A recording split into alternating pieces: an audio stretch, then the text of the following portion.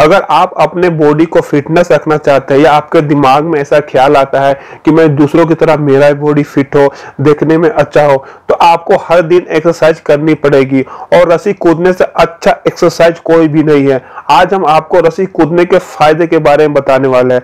तो अगर आप हर दिन रस्सी कूदते हैं तो आपको अनेक लाभ होंगे। हेलो दोस्तों, आपका स्वागत है आपके अपने ब्लॉग में हेल्थ एंड ब्यूटी ट्वेंटी में। दोस्तों, अगर आप चाहते हैं कि रस्सी कूदने के फ़ायदे की पूरी जानकारी लेना चाहते हैं तो प्लीज़ वीडियो को बिना स्किप किए पूरा देखें ताकि आपको नॉलेज मिले। हम आपको इस वीडियो में आज रस्सी कूदने के फ़ायदे और कुछ सावधानियाँ बताने वाला है। दोस्तों, मैं इस वीडियो में रस्सी कूदने के बारे में जो भी आपको बताने वाला हूँ, आप उसको फॉलो करना बहुत ही ज़रूरी है। खासकर जब आप रस्सी कूदते हैं, जब आप रस्सी कूदेगा, उस समय आपको ज़्यादा फॉलो करना होगा ताकि आपको कोई नुकसान ना हो। तो चलिए बिना देर किए और वीडियो को बिना लंबे किए हुए, पहले हम आपको बता दें कि रस्सी कूदने के क्या क्या बेनिफिट है क्या क्या फ़ायदे हैं। अगर आप हर दिन रस्सी कूदते हैं तो आपकी हाइट बढ़ती है। रस्सी कूदने से हमारा वज़न कम होता है। अगर आप अधिक मोटे हैं तो आपको ज़रूर रस्सी कूदना चाहिए। रस्सी कूदने से हमारे पैरों की मांसपेशियाँ मज़बूत होती है। रस्सी कूदने से हमारे पैरों की सारी नसों में अच्छे से खून जाता है, जिससे हमारे दिमाग तक इसका असर होता है और हमारा दिमाग भी तेज रहता है और हमारे बाल भी अधिक काले होते हैं। अगर आपके बाल सफ़ेद होने लगे हैं और झड़ते भी हैं तो कुछ दिनों में आपको इसका असर दिखने को मिले मिलेगा। रस्सी कूदने से हमारे पंजे मज़बूत होते हैं, जिससे हमें अधिक दौड़ने से कोई परेशानी नहीं होती है।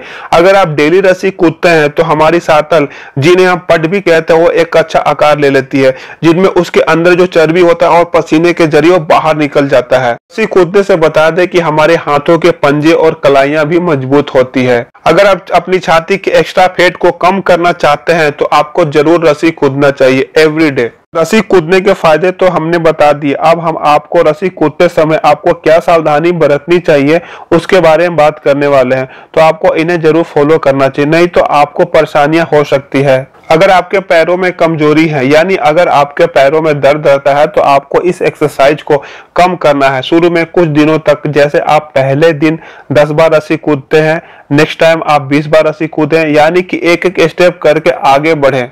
अगर आपके पैर में कभी भी मोच आई थी और वह काफ़ी समय तक ठीक नहीं हुई तो आपको आराम से रस्सी कूदना है। रस्सी कूदने के लिए हमेशा सतल, यानी कि सही जगह का चुनाव करें। ऊंच नीच ना हो। रस्सी कूदने से एक घंटा पहले तक कुछ ना खाएँ और रस्सी कूदने के तुरंत बाद पानी ना पिए, करीब तीस मिनट तक। रस्सी कूदने से पहले अपने हाथ और पैरों के जोड़ों की मालिश करें सरसों तेल से और फिर उन्हें धो लें। रस्सी कूदने के लिए अच्छे जूते पहने जिससे आपके पैरों की परेशानी ना हो। आपके जूतों के तलवे भी मज़बूत होने चाहिए। जहाँ पर आप रस्सी कूदने का स्थान बनाए, वहाँ साफ़ सुथरा होना चाहिए। वहाँ कोई कंकड़ पत्थर नहीं होना चाहिए ताकि आपके पैरों के नीचे ना आए। तो ये कुछ सावधानियाँ थी जो आपको ज़रूर फॉलो करनी चाहिए। नहीं तो आपको काफ़ी परेशानियाँ हो सकती। अगर आप अच्छे से जगह का चुनाव नहीं करते और उसे जगह को साफ़ सुथरा नहीं रखते तो आपके पैरों में चोट लग सकती है और इस कारण आप लंबे समय तक रस्सी नहीं कूद सकते। अगर आपकी लंबाई कम हो तो आपको ज़रूर रस्सी कूदना चाहिए। लेकिन अगर आपके पैरों में कोई समस्या हो तो आपको रस्सी नहीं कूदनी चाहिए। जैसे कि पैर में चोट लगी हुई हो और थोड़ी बहुत दुखती हो, या आपके पैरों में लंबे समय या पहले कभी आपको पैर पैरों में मोच आया हो और अभी ठीक नहीं हुई हो तो आपको रस्सी कूदने की कोई ज़रूरत नहीं। आप पहले अपने पैर की मालिश कराएँ या फिर अपने पैर को अच्छे से ठीक कर ले, उसके बाद अब रस्सी कूदने की तैयारी करें। तो आई होप आप लोग ये मेरा वीडियो अच्छा लगे तो प्लीज़ लाइक करें शेयर करें और मेरे चैनल को भी सब्सक्राइब करें, ताकि ऐसे वीडियो आपको मिलती रहे। आज के लिए बस इतना ही, फिर मिलते हैं नेक्स्ट वीडियो में। जब तक के लिए बाय दोस्तों।